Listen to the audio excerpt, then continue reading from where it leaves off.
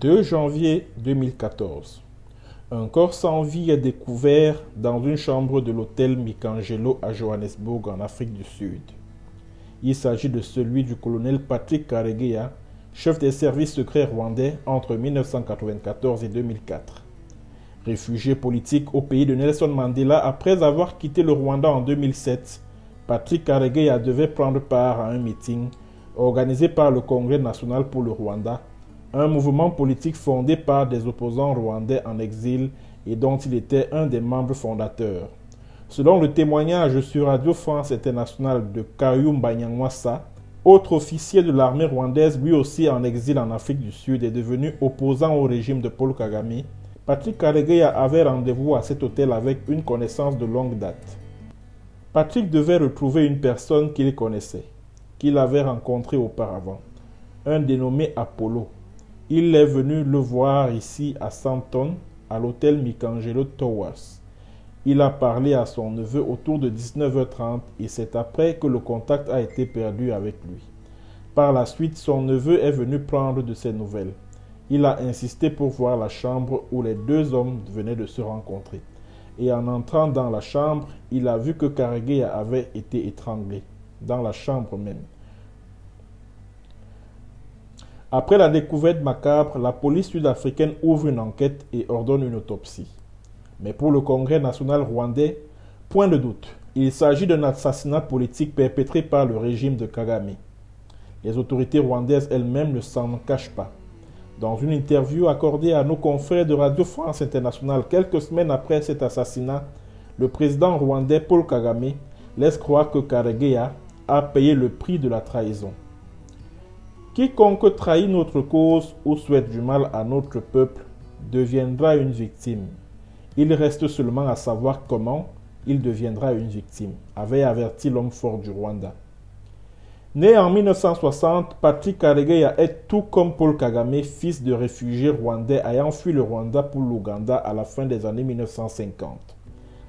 Après avoir servi au sein de l'armée ougandaise sous Yoweri Museveni comme directeur adjoint du renseignement militaire, Karegeya a rejoint les rangs de l'armée patriotique rwandaise, branche armée du Front patriotique rwandais, mouvement politique fondé en Ouganda en 1987 par des réfugiés Tutsis dans le but de renverser le gouvernement majoritairement Hutu de Juvenal Abiyarimana.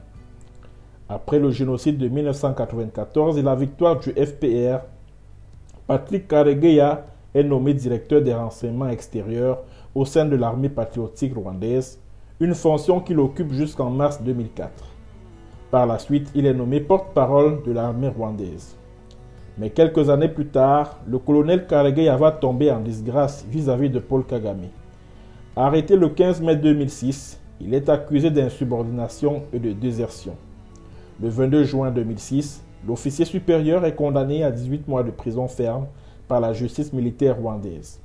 Qu'est-ce qui explique la brouille entre Paul Kagame et son ancien collègue au sein de la direction du renseignement militaire ougandais? Le journaliste et écrivain rwandais Gaspard Moussabimana, dans un article publié sur le site d'information moussabimana.net, indiquait Le lieutenant-colonel Patrick Karegeya est un alter ego du général Paul Kagame. Ils ont tous les deux, ils ont tous les deux un même mentor, à savoir le président Yoweri Museveni de l'Ouganda. Les deux hommes sont ces créatures. À la suite des incidents de Kisangani, Paul Kagame a voulu s'affranchir de la tutelle de Museveni et il s'en est fallu de peu pour que les deux pays, le Rwanda et l'Ouganda, entrent en guerre ouverte, n'eût été la médiation du Royaume-Uni qui a invité les deux hommes à Londres pour une conciliation. Quant au lieutenant-colonel Patrick Karegeya, il resterait attaché à l'Ouganda et il serait en train d'en payer les frais. Fin de citation. Au sujet de son désaccord avec son compagnon d'armes de longue date, Patrick Karegeya donne les explications suivantes dans une interview accordée le 9 juillet 2013 à Radio France Internationale. Question de journaliste. Vous avez été chef des renseignements extérieurs pendant 10 ans et en 2004, vous avez été démis de vos fonctions. Pouvez-vous expliquer pourquoi? Réponse de Karegeya. C'est le résultat d'une série de désaccords entre le président Kagame sur sa lecture du pays en termes de gouvernance, de droits de l'homme, à propos également de la situation au Congo. Ça a duré assez longtemps. À un moment, j'ai réalisé qu'on n'allait nulle part. Je lui ai demandé de me laisser faire ma vie. Il a refusé. Trois ans après, il a fini par me jeter en prison. Pas une, mais deux fois. Donc il s'agissait de désaccords politiques, rien de personnel. Question de journaliste, rien de personnel, mais vous étiez amis. Réponse de Karegeya. Bien sûr que nous étions amis, mais je faisais partie du gouvernement. Je n'étais pas là pour l'encenser. En tant que chef des renseignements, je pense que ce que je pouvais faire de mieux, c'était de lui dire la vérité. Que la vérité soit amère ou non. Mais le fait qu'il ne puisse pas l'accepter et qu'il le retienne contre moi, je crois que ce qui se passe aujourd'hui me donne raison. Question de journaliste. Quelles abominables vérités lui disiez-vous par exemple? Réponse de Karegeya. Les habituels. Je lui disais que ce que nous faisions n'était pas bien en termes de justice, de démocratie, de liberté de la presse. Il y avait la seconde guerre du Congo. On a parlé de tout ça et on ne tombait jamais d'accord. Mais parce que ça n'avait pas lieu en public, personne ne réalisait qu'il y avait une sorte de guerre froide entre lui et moi. Question de journaliste. Donc il y a eu, donc il y a eu pendant des années des dissensions au sein du Front patriotique rwandais Réponse de Karegeya. Oui, mais cela se passait entre militaires. Les civils n'en savaient rien. Et il n'y avait pas que moi. D'autres aussi étaient mécontents. Certains en ont fait les frais, d'autres ont décidé de se taire pour toujours. C'est une question de choix. Si vous en parliez publiquement, ils vous pendaient haut et court. Certains sont morts, d'autres ont été jetés en prison, d'autres comme nous se sont retrouvés en exil.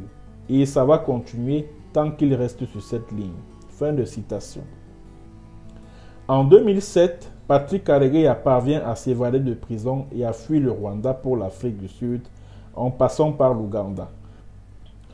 Pourquoi le régime de Kagame en avait autant après le colonel Patrick Karegeya de quelle trahison parlait Paul Kagame?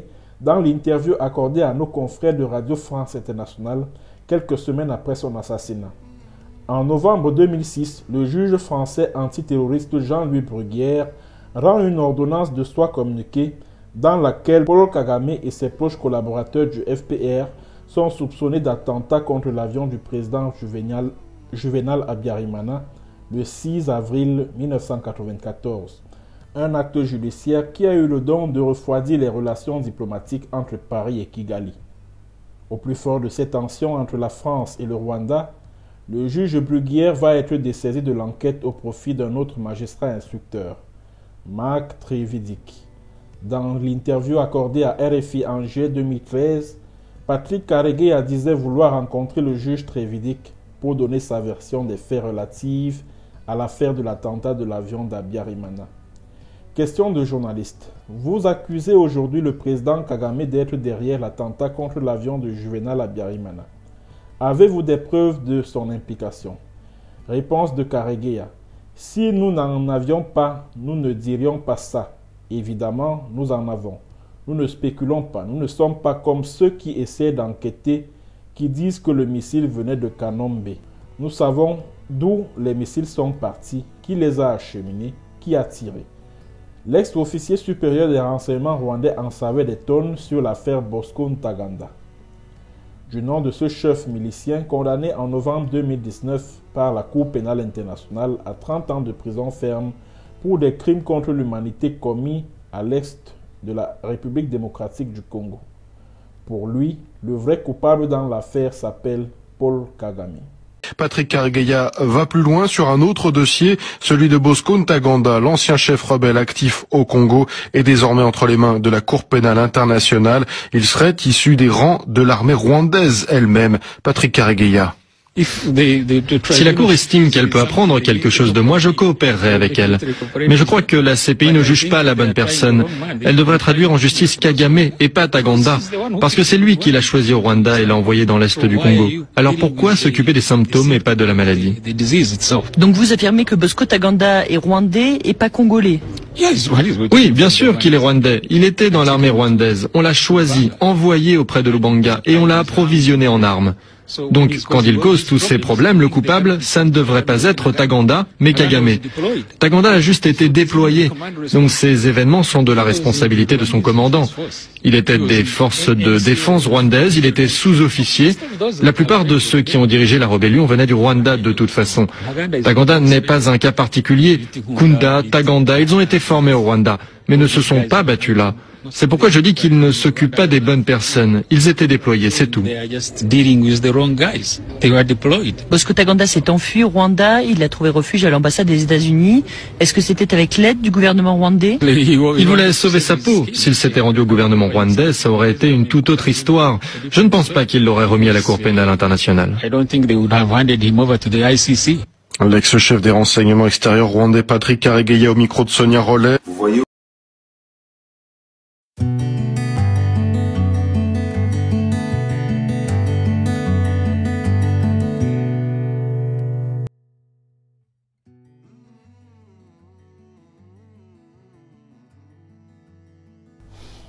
Après la découverte du corps de Karegeya, la justice sud-africaine va se mettre en branle.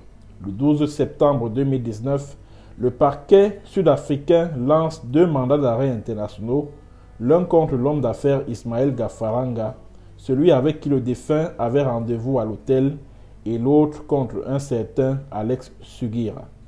Quelques mois plus tôt, des juges sud-africains avaient établi des liens entre le meurtre de, le de Karegeya et le régime de Kagame. La procédure judiciaire n'est pas sans alimenter les tensions entre Pretoria et Kigali. Depuis l'émission de ces mandats d'arrêt, c'est le silence radio après plus de deux ans. Sans verser dans du pessimisme, tout porte à croire que cette procédure judiciaire n'ira nulle part tant que Paul Kagame demeure le chouchou des multinationales américaines qui, grâce au mouvement rebelle piloté depuis Kigali, exploitent les minerais qui gisent à l'est de la RDC voisine. Les compagnies minéralières sud-africaines y sont aussi solidement implantées. Juger les suspects rwandais de l'affaire du meurtre de Karegeya, c'est risquer de se mettre Kigali à dos et par ricochet de compromettre ses intérêts géostratégiques à l'est de la RDC. En diplomatie, c'est la justice du plus fort qui visiblement est toujours la meilleure.